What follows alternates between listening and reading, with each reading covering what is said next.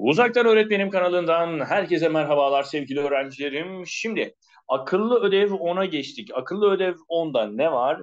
Çarpma işlemi problemlerinin birinci seviye çalışmaları var. Önümüzdeki hafta da ikinci seviyesini yani yeni nesil soruları bir tık daha ileri seviye soruları çözeceğiz. Şimdiye kadar çarpma işlemiyle alakalı çok güzel 3 tane ders yaptık. YouTube kanalımızda da yüklü bunlar çarpma hız çarpım tablosu hızlandırma çalışmaları yaptık. Çarpma işlemi çalışmaları yaptık. Çarpmada verilmeyeni bulma çalışmalarını yaptık. Bunların hepsine YouTube kanalımızdan ulaşabilirsiniz istediğiniz zaman. Şimdi ise bir konunun anlaşılıp anlaşılmadığını görmek için problemlerine bakarız. Eğer problemler anlaşılmışsa o konu tamamdır. Şimdi geliyor problemlerimiz. Birinci sorumuz şöyle karşımızda kolaydan zora doğru gidecek yine her zaman olduğu gibi. Bu arada dersimize başlamadan önce sevgili öğrencilerim beğen butonuna basmanız çok önemli. Neden? Daha fazla öğrenciye bu yayınların ulaşabilmesi için beğen butonuna basmanız lazım. E hadi bakalım Icardi söz sende. Bir kümeste 2345 tavuk, 1980 tavşan vardır. Bu küme bu kümesteki hayvanların ayaklarının toplam sayısı kaçtır? Öğretmenim bir kümeste 2345 tavuk olduğuna göre 2345 ile 2'yi çarparız. 5 kere 2 10, 10'un 0 elde var 1, 4 kere 2 8, 1 daha 9. 3 kere 2 6, 2 kere 2 4. Yani 4690 tane tavuk ayağı varmış. Evet. Ee, geri kalan da 1980 tavşan vardır. Bu yani Tavşanın kaç ayağı vardır? 4. Harikasın. Devam. 1980'den 4'ü çarpacağımız için e, 0 kere 4 0 8 kere 4 32 32'nin ikisinin var 3 e, 9 kere 4 36 3 daha 39 50 var 3 4 kere 1 4 5 6 7 7920 toplam dediği için 7920 ile 4690'ı toplayacağız. 0 0 daha 0 9 2 daha 11'in biri elde var 1 o, 9 6 daha 15 1 daha 16 16'nın 6 elde var 1 7 8 9 10 11 12 elde ile birlikte 12.610 çıkıyor. Evet 12.610 ayak vardır. Sevgili çocuklar ne kadar çarpım tablonuz ne kadar hızlı olursa bu soruları çözme süreniz de o kadar hızlı olur. Şimdi bu soruyu, soruları e, notlarınızı mutlaka alın. Notlarınızı aldıktan sonra YouTube'dan izleyenler için söylüyorum. Öyle devam etsinler. Hani dondurabiliyorsunuz siz. İkinci sorumuz geldi. Çok güzel bir soru geldi. Şurada küçük bir ekleme yapalım. Şurada 3 basamaklı olacak. Yani 0, 9, 6, 7 rakamlarını kullanarak yazılabilecek 3 basamaklı. Şuraya 3 ekleyelim. Evet. Tabii şu YouTube'dan bu soruları yapanların elinde ekli olacak bu. Sizin için söylüyorum. Ee, devam edelim. Minasu. Hadi bakalım sendeyiz.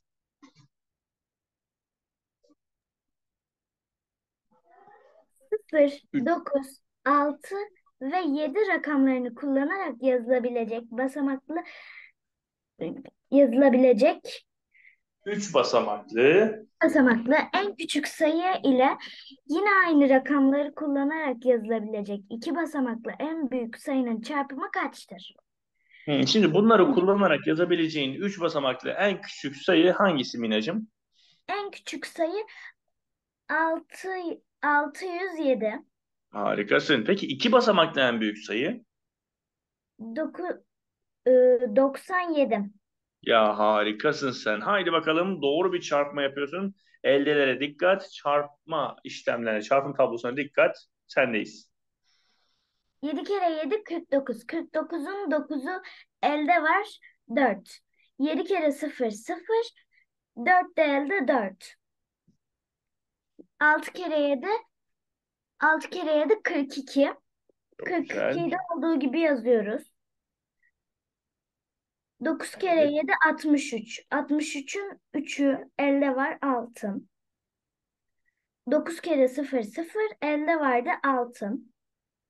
Evet. 6 kere 9 54. 54'ü de ol- 54'ü olduğu gibi yazıyoruz. Ve Topluyoruz. 9'u olduğu gibi aşağı indiriyoruz. 4 ile 3'ü toplarsak 7. Ee, 6 ile 2'yi toplarsak 8. 4 ile 4'ü toplarsak 8. 5'i de aşağı indirdik. 58.879. Harikasın. Bu cevabı bulan öğrencilerimi de tebrik ediyorum. Evet, gördüğünüz gibi zor bir soru değildi, kolay bir soru da değildi. Hemen üçüncü soruya hiç zaman kaybetmeden geçiyorum. Çocuklar üçüncü soruda çarpmada verilmeyeni bulma var. O değerleri bulup daha sonra cevap bulacağız. Bunu ben çözeceğim. Lütfen dikkatli dinleyelim. Çünkü öğrencilerimin en çok hata yaptığı sorulardan birisi. Çocuklar burada deneme yanılma yöntemini kullanacağım. Bakın 6 kere A dörtlü bir şey oluyormuş. 6 ile A'yı çarptığında dörtlü bir şey olduğuna göre ben diyorum ki 6 kere 4 24'tür. Başka bir şey var mı 6 ile çarptığında 4 olan? Yok. 6 kere 4 24'ün 4'ü. Elde var 2. Bakın burada eldeleri unutmuyoruz. Sonra 6 kere 8 48. 2 daha 50. 50'nin sıfırı. Bakın B'yi de bulmuş oldum. Elde var 5. Şimdi buraya dikkat lütfen. 6 ile C'yi çarpmış. Üzerine 5 eklemiş. 11'i bulmuş. Şimdi ben eklemeyeyim. Yani 5'i eklemeden ne bulmam gerekiyor o zaman? 11'den 5 çıkarırsam 6 kalır. Yani 6 ile C'yi çarptığımda 6'yı bulmam gerekiyor. Üzerine 5 eklediğimde 11 olsun diye. E 6 ile neyi çarparsam yine 6 olur? Tabii ki 1'i çarparsam 6 olur. A, C'yi de buldum. Geriye D ve E kaldı. Şimdi dikkat edin çocuklar. D ile D ile A'yı yani A'nın 4 olduğunu az önce bulmuştum. D ile A'yı çarptığımda 0 olması gerekiyor. O zaman buraya 5 diyebilirim. 5 kere 4 20'nin sıfırı elde var. 2. 5 kere 8 40. 2 de elde 42'nin ikisi diye devam ediyor. 5 kere 1 5. 4 de elde 9 diyoruz. Yani bu durumda A'yı, B'yi, C'yi ve D'yi bulmuş oldum. Şimdi onları silip yerlerine yazalım. A hemen şöyle güzel bir şekilde yazalım. Evet şunları siliyorum. Bakın A'yı buldum. B'yi buldum. C'yi buldum. Evet diğerlerini de buldum. Şimdi hepsini yerli yerine yazıp sonucumu bulacağım. Aldım kalemi. Şimdi A 4'tü. B 0'dı. C ise 1'di. D 5'ti. E 2 idi. Şimdi bunları çarpacağız. Evet Ali Emin sendeyiz. Bunu sen bize çarptır bakalım. Öğretmenim 2 ile 1'i çarpıyoruz 2. 2 ile 0'ı çarpıyoruz 0. 4 ile 2'yi çarpıyoruz 8. 5 ile 1'i çarpıyoruz 5. 5 ile 0'ı çarpıyoruz 0. 5 ile 4'ü çarpıyoruz 20. Bunları topluyoruz öğretmenim. 2 aşağı iniyor. 5 ile 0'ı topluyoruz. 5, 8 aşağı iniyor. Ee, 0 aşağı iniyor, 2 aşağı iniyor. 20.852. Harikasın. 20.852 cevabını buluyoruz. Çocuklar bu soruyu bulanlar şöyle bir kendileriyle gurur duyabilirler. Çünkü bu soruyu 10 öğrencinin 5'i yanlış yapıyor. Ve yeni soruya geldik. Dördüncü soru. Haydi Hakim Ziyek. Tamamdır hocam. Bir sitede 17 bina, her binada 15 kat, her katta 8 daire vardır. Bu sitede kaç daire vardır? Hocam önce kat sayısını bulalım.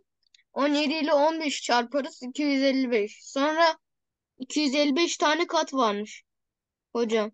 Her Bir katta dakika. 8 Geri tane kere daire. bize bize bir işlemi yaptır bakalım. 5 kere 7 35. 35'in 5'i elde var 3. 5 kere 1 5. 3 daha 8. Şimdi 8'in altına yazıyoruz. 1 kere 7 7. 1 kere 1 1. 5'i aşağı indiriyoruz. 8 ile 7'yi toplayalım 15. 15'in 5'i elde var 1. 1 ile 1 toplayalım 255 kat. Hocam 255 ile 8'i çarpalım. Ben çarptırayım. Yani şey 255 ile 8'i çarpalım. Hocam 5 kere 8 40. 40'ın 0 elde var 4. 16. Ben- Ben yazıyorum Erdemciğim. Ben yazıyorum. Ha. Sen yazma. Hocam 40. 40'ın 0 elde var 4. 8 kere 5 40. 4, bir de 4 var 44. 44'ün 4 elde var 4. 8 kere 2 16. 4 daha 20. 2040 daire vardır. Daire vardır. Çocuklar bu soruyu Hocam ileri seviye sorularda daha da zorlaştırılabilir. Yani işte her dairede 8 kapı vardır. Her kapının fiyatı sallıyorum 100 liradır. Bu siteye toplam kaç liralık kapı kullanmış gibi soru uzatılabilir. Ama bu birinci seviye sorular olduğu için çok da zorlaştırmayacağım. Geldik Asya'nın kumbarasına. Kaan Aykan sendeyiz. Haydi bakalım bize beşinci soruyu oku. Bizi YouTube'dan takip eden öğrencilerimiz de önce dondurup izleyip sonra sorunun çözümünü Kaanoviç'ten dinleyebilir. Haydi bakalım. Hocam dakika. Asya'nın kumbarasında 25 tane 10, 25 tane 25 kuruş, 15 tane 50 kuruş, 10 tane 10 kuruş vardır. Asya'nın aşağıdaki oyuncağı alabilmesi için kaç kuruşa daha ihtiyacı vardır? Bir kere öğretmenim bu soruları şu şekilde yapabiliriz. Burada bebek fiyatını zaten vermiş. 20 lira diyor. Tam 4 4.25 Kaan, kuruş. Kaan'cığım çok özür dileyerek. Çok çok öz tamam devam et tamam. Hiç bölmeyeyim seni. Devam et. Tamam öğretmenim. Bunu tabii 3. sınıfta öğrenmiştik. 4 tane 25 kuruş 1 lira ediyordu. Ama burada tam 4'e bölünen sayı olmadığından biz direkt 25 ile 25'i çarpacağız. Evet, hızlıca çarpalım.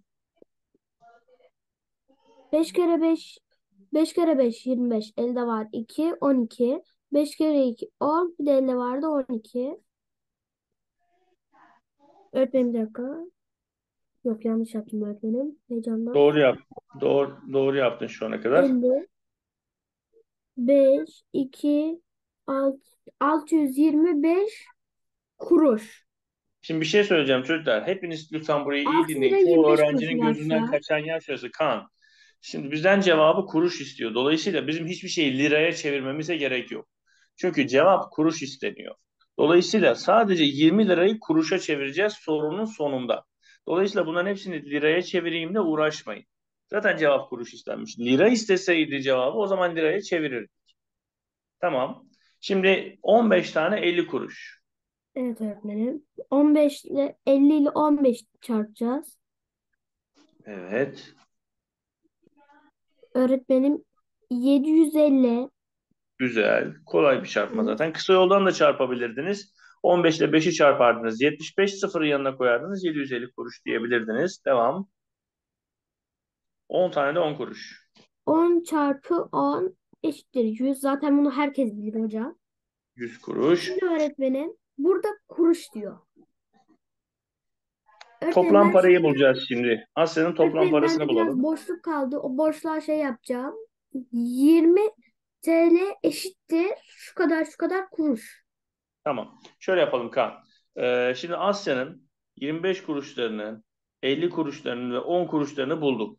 Bunları toplayıp Evet. Asya'nın kaç parası olduğunu bir bulalım değil mi önce? Evet. Bulalım. 5, 7, 7, 6, 13, 14. 1475. Öyle mi oldu bakalım? 1475 mi oldu? Dikkatli toplayalım. Evet öğretmenim. Evet, evet 1475 tamam.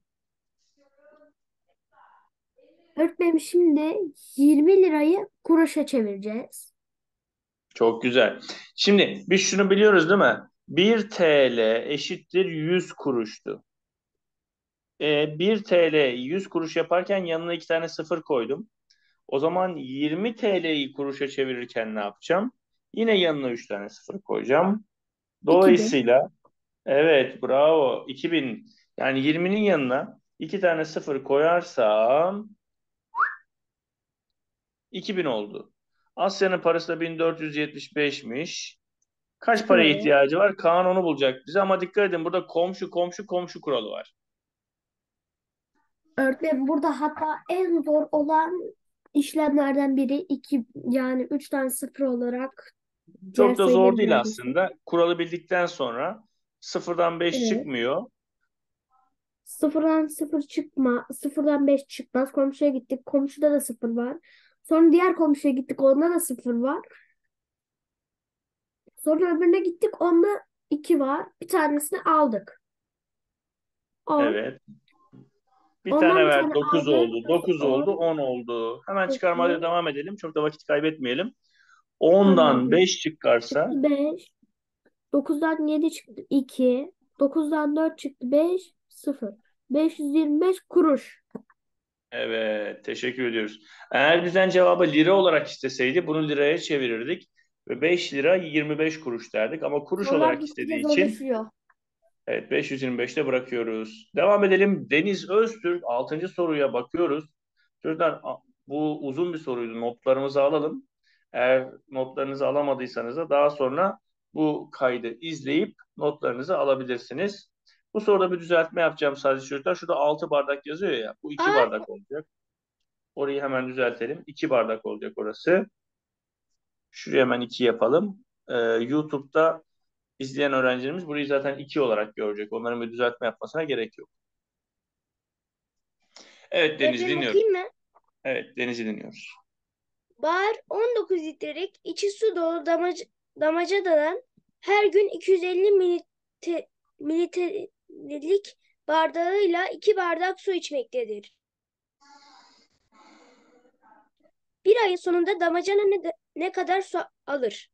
Deniz şu bilgiyi burada- bir tazeleyelim. Üçüncü sınıf bilgisi. 1 litre eşittir 1000 mililitreydi.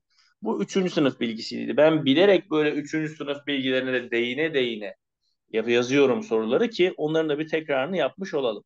Tamam. Günde 2 bardak su içiyormuş ve bardak 250 mililitreymiş. Ne yapacağız Deniz?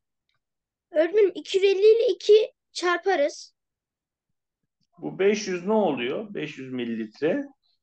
Ee, 500 500 mililitre buluruz. Bir günde içtiği su Yarım- miktarı. Yarım litre içiyor bir günde öğretmenim. Evet. Bir ay diyor. Bir ay 30'la da e, 500'ü 19'u çarparız. 500'ü çarparız öğretmenim. Çarpalım. Ben de yazayım. Niye çarptık onu açıklayayım. Çocuklar bir günde 500 mililitre su içiyorsa bir ayda yani 30 günde 30 tane 500 içer. E şimdi bunu tek tek alt alta yazıp 0 kere 0 0 kere 0 mı diyeceğiz yoksa kısa yollu mu yapacağız Deniz? Evet öğretmenim. Sıfırları sildik. 5 kere 3 15. Yanına da 3 sıfır ekledik. Evet.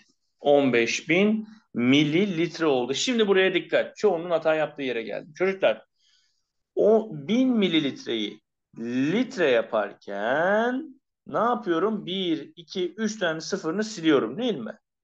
O zaman burada da 1500 mililitre kaç litreye eşit Denizciğim?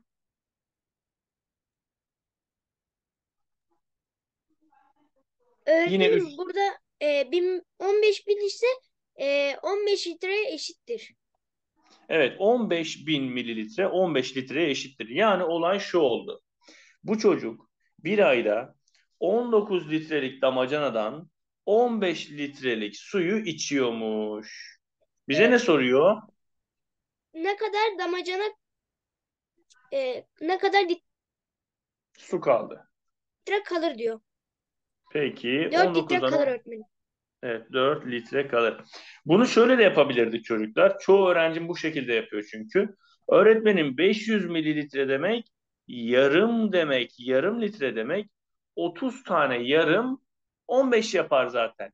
Evet 30 tane yarım elma 15 yapar değil mi? 30 tane yarım litre de yine 15 yapar. Dolayısıyla burada yapmam gereken şey 15'i bulduktan sonra 19'dan 15'i çıkarmak. Notlarımızı alalım. Cevap 4. Şimdi 6. soru bir işlem sorusu, işlem becerisi sorusu. Çocuklar ben sırayla söyleyeyim isimleri. Ee, kimin yapacağını. Merve, A'yı bize sen bul. Hira Su, B'yi sen bul. Hira Demirelli, C'yi sen bul. Hatice, D'yi de sen bul bize ama çok hızlı olmanızı istiyorum. Haydi bakalım. 365 ile 45'i çarpacağız. A'yı bulmak için 365 ile 45'i çarpıyor arkadaşımız. Evet. 5 kere 5 25'in 5'i elde var 2. 5 kere Evet. 6 30 elde vardı 2. 32'nin ikisi elde var 3. 5 kere 3 15 bir de elde vardı 3. 18. 5 6'a geçtik. 5 kere 4 20. 20'nin 0 elde var 2. 6 kere 4 18. 24. Evet. 20 2 24'e 2 ekledik. 26'nın aldısı elde var 2. 4 kere 3 12. Bir de elde vardı 2 14. Şimdi topluyoruz. 5 aşağı indi. 2 14'ün 4'ü elde var 1. 16425. Teşekkürler. Hemen B'ye geçelim. B'yi de sıradaki arkadaşımız yapsın.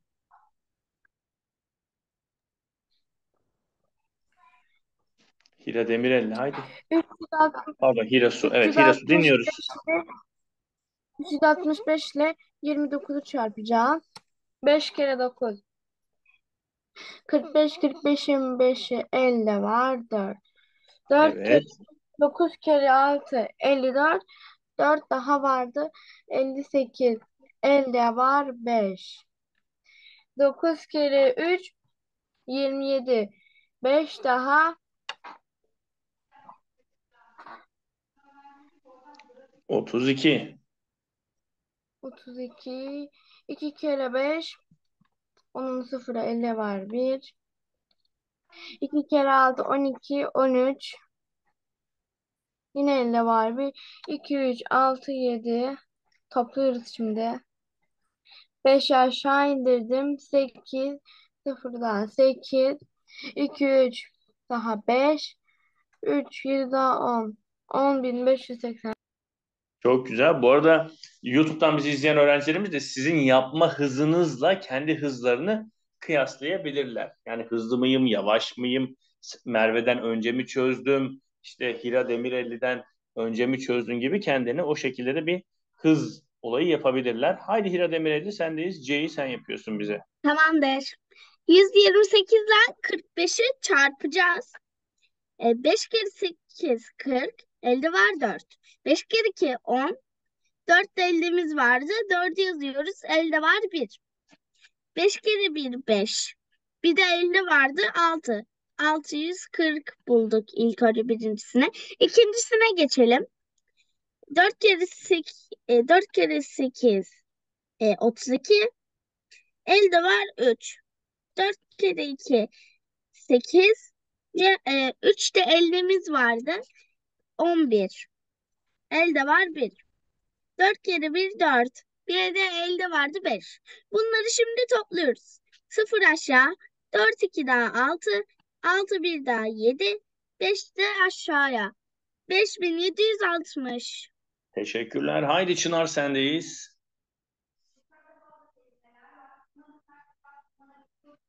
Çınar da bize D'yi bulacak. Çınar Pars.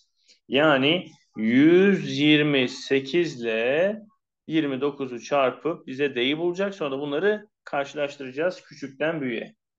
Şimdi öğretmenim 9 kere e, 8 72 elde var 7 9 kere 2 18 bir de elde vardı 25 elde var 2 9 kere 1 9 bir de elde vardı 11 Evet. e, 2 kere 8 16 elde var 1 2 kere 2 4 bir de elde vardı. 5 2 kere 1 2 topluyoruz. 2 11 elde var. 1 e, 6 7 1 2 daha 3 3712 Teşekkürler çocuklar. Şimdi soru bize. Diyordu ki küçükten büyüğe sıralayın. O zaman bakıyoruz şuralara. En küçük olanı ney? D. Küçüktür C. Küçüktür B. Küçüktür A şeklinde sıralanır. Gördüğünüz gibi kolay bir soru ama uzun bir soru. Yani bu sorudaki amaç öğrencilerin dikkatini ölçmekti. Öğrenci ne kadar dikkatli, nerede sıkılıyor? Çünkü sıkıldığınız yerde ya çarpmada hata yapmaya başlıyorsunuz ya eldeleri unutuyorsunuz.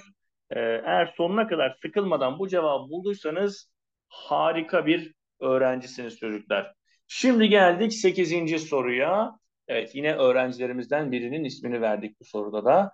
Bu soruyu da bizlere dikkatli bir şekilde okuyalım ve Hatice Beyza sen yapmadın herhalde. Hatice Beyza yapsın. Melike Hanım, e, çok beğendiği robot süpürge için 5 5400 TL peşin ödeme yapıp kalan kısmını ise 450 450 lira taksitlerle 24 ay ödeyecektir. Süpürge kaç liradır? Hatice ben Şimdi- küçük bir açıklama yapayım. Küçük bir açıklama yapayım sonra sen cevapla. Çünkü bazı arkadaşların peşin ne demek, taksit ne demek bilmiyor olabilirler. Şurada bir ürünü alırken önce bir peşin para veriyorsun. Yani cebinden çıkarıp veriyorsun. Verdin.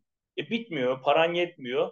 O zaman ne yapıyorsun? Onu ay ay taksitlendiriyorsun. İşte burada da Melika Hanım 24 ay taksit yapmış. Yani 24 ay boyunca 450 450 450 şeklinde verecek.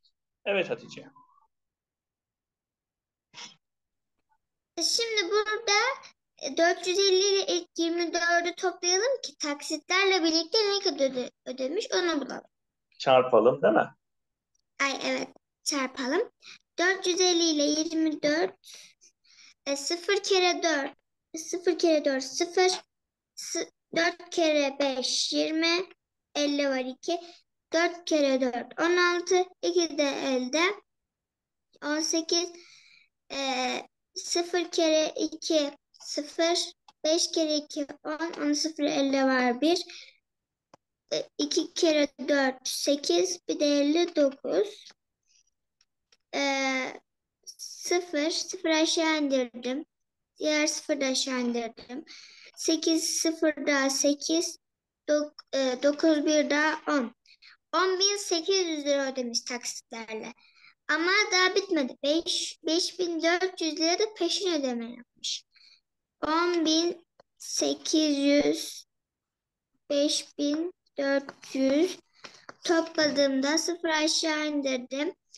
0 0 daha 0 8 4 daha 12 elde var 1 0 5 0 etkisiz eleman olduğu için 5 ile 1 topladım 6 ve 1 16.200 Evet demek ki süpürgenin fiyatı 16.200 liraymış diyoruz. Haydi Ali Emin 9. soruyu senle devam ediyoruz. Bu soruların hepsini eğer doğru çözdüyseniz gerçekten harika. Bakın burada 9. soruda 3. sınıftaki bölme konusuna böyle bir değinme var. Bunu bilerek koydum. Çünkü bu konudan sonra çarpmadan sonra bölmeye geçeceğiz. 4. sınıf bölmesine geçeceğiz. Onun için bir hatırlamakta fayda var. Ali Emin soruyu bize okusun. 316 koltuk bulunan bir sinema koltuk koltuklarının çeyreği boştur. Bilet 75 lira olduğuna göre bu filmden sinemacı kaçak lira kazanmıştır.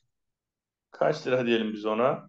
Şimdi 316 tane koltuk varmış ve bu 316 koltuğun çeyreği boşmuş. Şimdi bir şeyin çeyreğini bulurken dörde bölüyorduk çocuklar.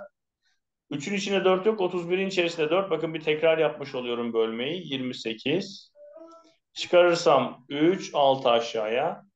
9 kere 4, 36. 0, 0. Bakın bu boş koltuk. E Ali Emin dolu koltuğu nasıl bulacağım? Öğretmenim 316'dan 79'u çıkararak bulacağız. 316 eksi 79. Dinliyoruz seni Ali Emin. 16 do, 6'dan 9 çıkmaz. Komşudan bir onluk alıyoruz. 16'dan 9 çıkaracağız. 7 0'dan 7 çıkmaz. Komşudan bir onluk alacağız. 10 10 7 çıkar 3 2'yi de aşağı iniyoruz. 237. 237 tane dolu koltuk varmış ve her koltuk bileti 75 liraymış. Öğretmenim 237 ile 75'i çarpacağız. 7 Evet. kere 5 35. 35'in 5'i elde var 3. 5 kere 3 15. 15 elde var 1 3. Öğretmenim 18'in 8'ini yazacağız. Evet. Elde var 1. 5 ile 2'yi toplayacağız. 10 elde var 1 11. Evet. Şimdi 7 7'yi to- çarpacağız. 49. 49'un 9'u elde var 4. 7 ki- 7 7 ile 3'ü çarpacağız. 21 elde var 3. 25. 25'in 5'i elde var 2. Öğretmenim 7 kere 2 14 elde var 2 16. Şimdi bunları toplayacağız. 5 aşağı inecek. 9 ile 8'i topla 17. 17'nin 7'si elde var 1. 5 ile 1'i topla 6 elde var 1 7. 6 ile 1 topla 7. 7775. 17.775 lira kazanmıştır diyoruz. Sevgili çocuklar ne yaptık? Önce boş koltuğu çıkardık, dolu koltukları bulduk, sonra da 75'te çarptık. Son soruya geliyoruz şimdi. Son sorumuz, bakın çok orijinal bir soru. Soru okumayan kalmadı herhalde değil mi çocuklar? Herkes soruyu bir okusun. Soru okumayan kaldıysa sesini açıp ben varım öğretmenim desin. Evet kalmamış. Bir fabrikada bulunan makineler yarım saatte 237 liralık elektrik kullanmaktadır. Güzel. Dikkat edin bilgilere. Yarım saatte 237 liralık elektrik kullanmaktadır. Saat 8.30'da çalışmaya başlayan makineler 18.00'da kapandığına göre kaç liralık elektrik kullanmıştır diye bize soruyor. Şimdi dikkatlice bakalım. Tamam mı? Hüseyin'im okumuş muydun sen soru? Okumuştun. Evet öğretmenim. Tamam. Şimdi yarım saatte 237 e, 8.30'da başlıyor, 18.30'da bitiyor. Yine geçen senenin bir konusunu hatırlama yapalım. Ne kadar çalışmış o zaman makineler? Evet, çıkarırsak sıfırdan 30 dakika çıkmıyordu. Elde alıyorduk. Hatırlayalım. Burası 60 dakika oluyordu. Burası 17 kalıyordu. 60'tan 30 çıkarsa 30 kalıyordu. E, 17'den 8 çıkarsa da 9 kalıyordu. Demek ki 9 saat 30 dakika çalışmış. Şimdi iki türlü yapabilirim. Birincisi şu. Öğretmenim yarım saatte 237 lira harcıyorsa bir saatte harcadığını bulabilirim. 237 çarpı 2 bize bir saatte harcadığı elektrik miktarını verir. Yani 464 TL. Doğru mu? Değil. 474 TL. 50'yi unutmuyoruz çocuklar. Evet. 474. Bir işlem hatası cevabı götürür. Peki bir saatte 474 harcıyorsa bakın 9,5 saat var burada. Ben önce 9 saati bulacağım. Yani 474 ile 9'u çarparak 9 saatte ne kadar elektrik harcadığını bulacağım. 9 kere 4 36'nın 6'sı elde var. 3. 9 kere 7 63. 3 de elde 66'nın 6'sı elde var. 6. 9 kere 4 36. 6 daha 42.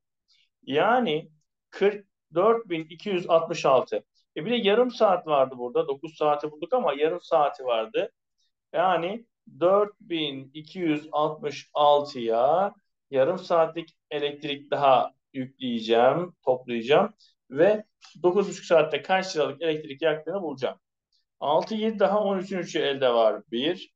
6, 3 daha 9, 1 de elde 10'un 0 elde var 1, 5, 4. Yani 4503 liralık elektrik kullanır. Diğer yöntemi de söyleyerek, sözel olarak anlatıyorum. Çocuklar 9 saat 30 dakikada kaç tane yarım vardır?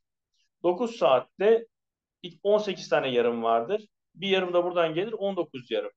Yani 237 ile 19'u çarparak da yine aynı sonucu yani 4503 lira sonucunu bulabilirim.